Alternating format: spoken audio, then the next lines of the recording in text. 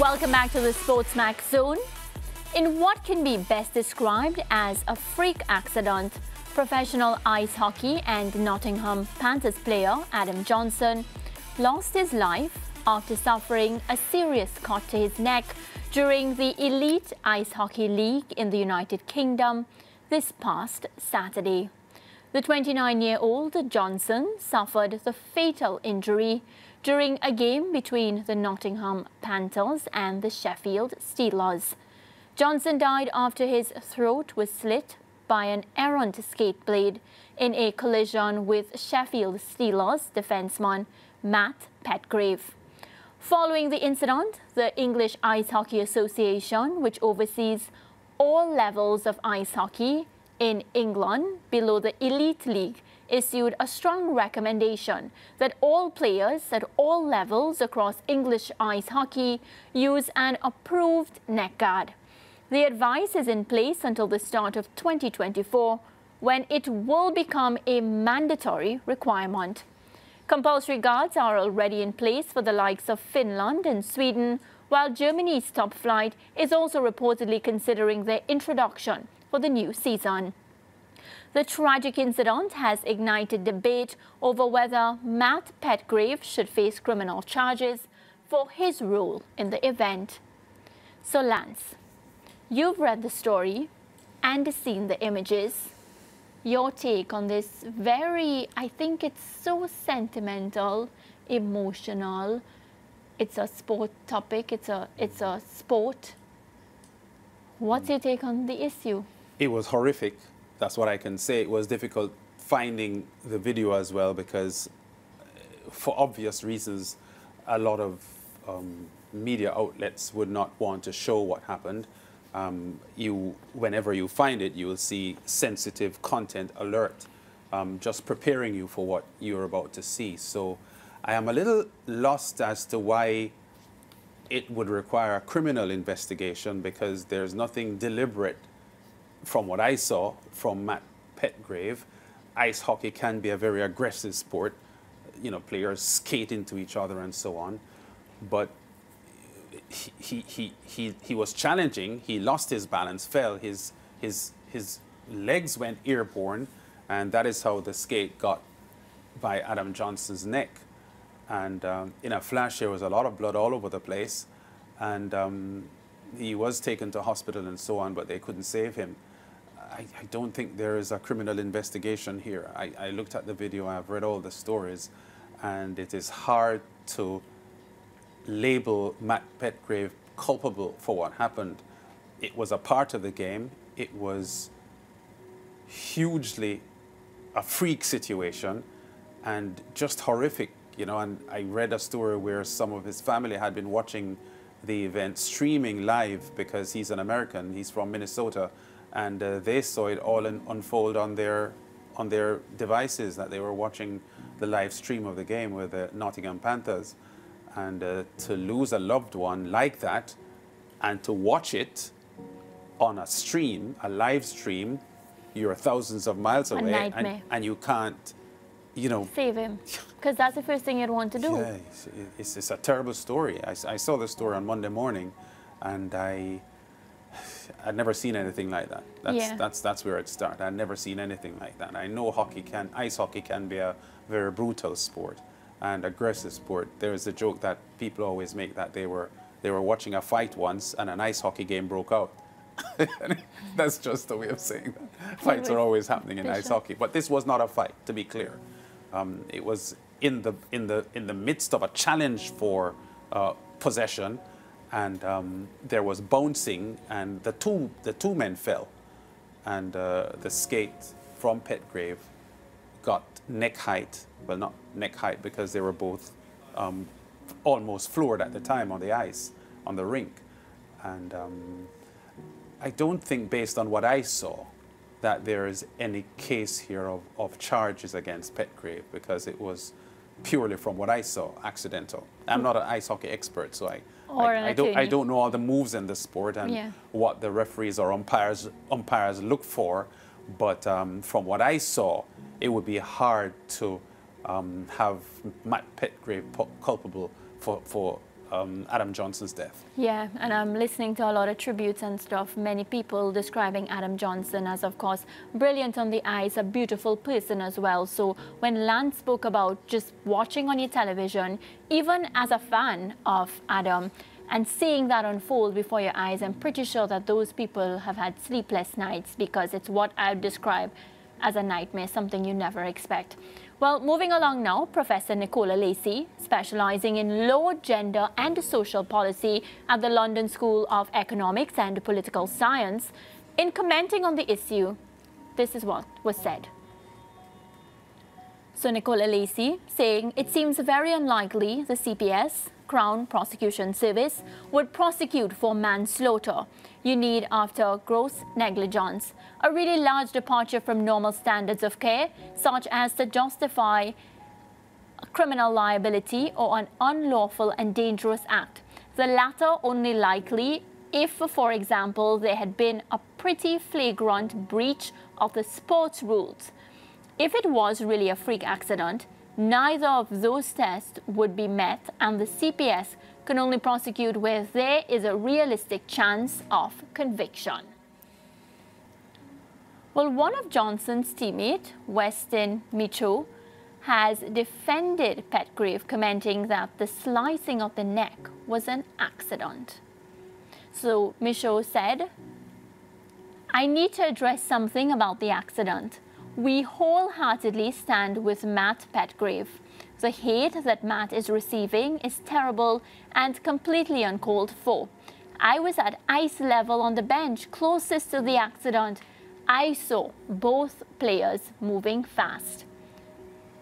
The unintentional clip of Panther, player's leg by the Sheffield player, caused the somersault. It's clear to me his actions were unintentional and anyone suggesting otherwise is mistaken. Let's come together, not spread unwarranted hate to someone who needs support.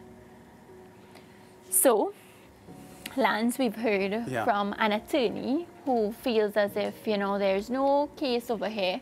We've heard from a teammate, a player who was right there, a witness, if I'm to say so, who also feels as if, you know, pushing on with the narrative that it's Pet Graves' fault only generates a lot of what we already have enough of social media bullying, a lot of social media hate.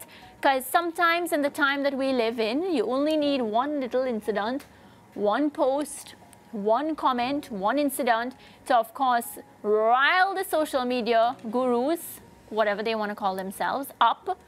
And they just start ranting, they start bullying, they start without thinking, you know, getting on the cases of who they feel is right, who they feel is wrong.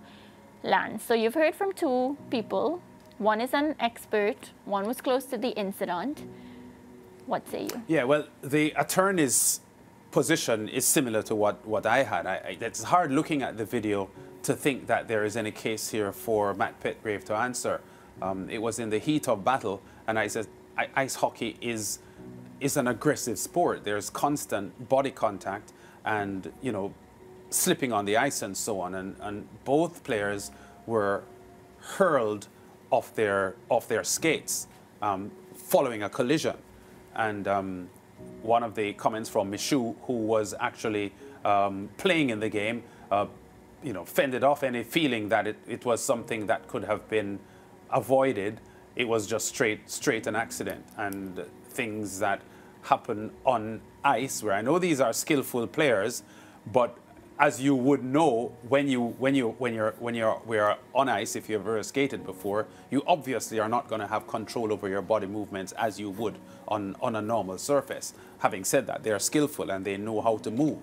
But he was in an uncontrolled position and it was it, it's hard to blame him for what happened Yeah, now I read another report because we always try to bring balance on the show. Another report uh, from a former hockey player that said that um, his name in the report was Sean Avery, and he was claiming that um, it was an unorthodox move based on what he knew, knew about the sport, and he felt like it's not something that was common. So they had it in the report saying an unorthodox move, which you know he felt was used in that manner Yeah. and resulted in the death. So of course there are going to be different sides. People are going to have different arguments for it. Some are going to come out and genuinely believe that whatever this player did, because people interpret things very differently. We we already established that. And we'll find some grounds to say maybe he flipped this way um, deliberately to, of course, maybe not kill the Yeah. um, for that result, but, But of course, just aggression. Yeah. Reckless. So there will always be that side as well, and we have to be very aware of that. But Lance, question for you, very, very important question. In your years in journalism, you've received so many awards. You've just been, um, you know, dominating in our profession. Have you ever seen a player prosecuted for violent conduct in their sport?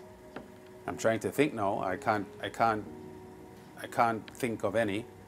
Um, certainly not against a teammate or, or, or a rival. Um, I I know criminal charges can be lodged if your behavior is aggressive enough and, and the offended person, like I remember when Eric Cantona left the field and um, flying kick, they delivered a flying kick to a spectator in a match in, in England. He was banned, and um, uh, I, I, I think there may have been a, a police intervention in the incident, but this was a player against a, a fan, not a player against a player. So I, I, I can hardly remember anything like that happening. It is possible that it could have happened because if it is that the challenge by Petgrave was considered reckless, and uh, let's say it is a sport that I understand better, football, that it was reckless and deliberately Deliberate. Um, intended to, to hurt physically the opponent, then the offended person may want to take it further than just a, a, a football ruling. As I said a few minutes ago, I'm not an ice hockey expert, Correct. so I don't know all the moves. It, it did look aggressive. It did look aggressive and reckless when I when I think of it. But when I think of the sport of ice hockey, it is hard for me to not see a play like that and think that it is isn't among the normal happenings in the sport because, as I said, it's it's a very aggressive sport, and uh, people fight in the sport all the time, and because of the contact in in the sport, it's it's it's it's normal for players to lose their temper and so on. But this was not what was happening. It was just a play and a contact that left both players um, off balance and hurled into a somersault. So um, the point that that expert made just now about the, the play being Unorthodox unorthodox. I, it's hard for me to speak with authority on that because, Yeah. I'm, as I said, I'm not an ice hockey expert. But it, it did look aggressive, and it could have been unorthodox, yes. But it is, it is, it is a kind of collision that I see in ice hockey. So it would be hard for Petgrave to be um, criminally responsible for Yeah. Adam Johnson's death. It So was, you- it was horrific, though, really. And you know, our producer is very well read and he's always reading all these random things. So, of course, you know, alerting me to the fact that Erling Haaland's dad and Roy Keane. So, Roy Keane um, had a move on Erling Haaland's dad, which, of course, had a lot of, like, it went to prosecution and all that. So, Yeah, well, that, that's, that, that was not the field of play. that was not the field of play. So um, these things can happen. But if you're talking about two competitors on the field of play competing against So each other. It, it's, yeah, it's a little hard. But, but Haaland's dad is, uh, is, is a huge football person, and Roy Keane is a former player, a current manager, former Man United captain, and he's known to be hot tempered. So things can happen off the field, and the tempers can flare. And if if one offended party wants to take it um, beyond um, just a clash in a sporting way and wants to get the police involved, I can easily see that happening, yes. Yeah. Well, of course, as we get ready to wrap this segment, we send our thoughts and prayers there with Adam Johnson and his family. And of course, those spectators that were present during this, because nobody goes to sport. And I say this, as of recent, so many things have been happening. You just innocently buy a ticket and you're going to watch a sport that you know and you love. and something like this very tragic occurs, you know, it's something that you never really, you're ever prepared for. So on that note, we wrap this segment. Uh, we have a lot more coming up on the Sportsmax Zone just for you. Stay with us.